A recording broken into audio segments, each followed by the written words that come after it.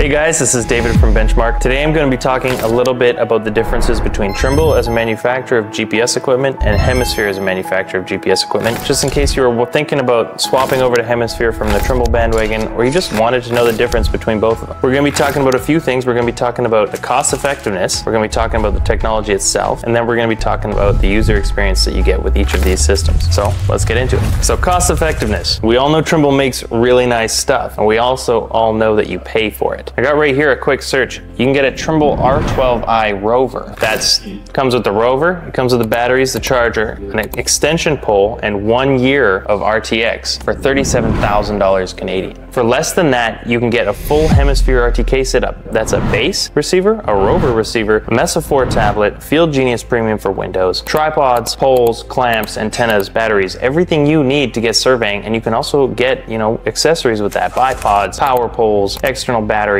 everything you could possibly want, and it'll be less expensive than a single R12i Rover. If we're talking about the technology, they're pretty comparable. We actually filmed a video where we took the R12i out under trees, up against buildings, and we put it side by side with the S631, and they're pretty, pretty comparable. The R12i did well in the open. It did pretty well under trees in high multipath environments. It started to fall off a little bit when you lost the satellite count, so when you're up against buildings or near a bridge or anything like that. And now part of the reason the hemisphere stuff can do better is that they actually put the resources towards developing the GPS side of their business. Hemisphere's R&D is some of the best in the world. That's why we have the Athena RTK engine. It does incredibly well in high multipath environments. It does incredibly well in low satellite environments. And so you can take this thing where no other receiver can go. I have a customer in South Carolina who got this receiver and took it out into the woods. Now his buddy was a Trimble user, saw the price tag he paid and said, you wasted your money, it's gonna be junk. Took the receiver out into the woods and he got a fix on the property corner, on the nail, checking into hundreds. It's a repeatable. So he invited his buddy over for dinner. They took the R12i, couldn't get the shot. So his buddy took the hemisphere and they spent two, three hours trying to break this thing, trying to prove that it's not repeatable. And we actually did a repeatability video and we can put the link to that in the corner here. And every time it's coming in within hundreds, within hundreds. He can't miss this property corner with the hemisphere. So the technology on the hemisphere RTK receiver is probably, it's a little bit ahead of the Trimble stuff, but it, it is pretty comparable. If you're looking to look at a bit of the specs, I put a spec sheet for the R12i and a spec sheet for the S631 in the description of this video, and you can see just how similar they are. If we're talking about user experience, again, Trimble makes nice stuff. It plays really well with each other. Their data collectors play incredibly well with their receivers. Their receivers play incredibly well with their desktop software. It plays nice with their robots. It works great. But if you're one of the many people who maybe likes using a Leica robot, or maybe you like using a Topcon gun, or you have an echo sounder that might not be supported in Access, all of these things can't work with Trimble software. So then you got to look at getting another data collector, another set of software. You got to send data, the crews out with multiple handhelds. It just gets confusing. If you're running Field Genius, it's brand neutral. You can use any total station you like. You can use any receiver you like.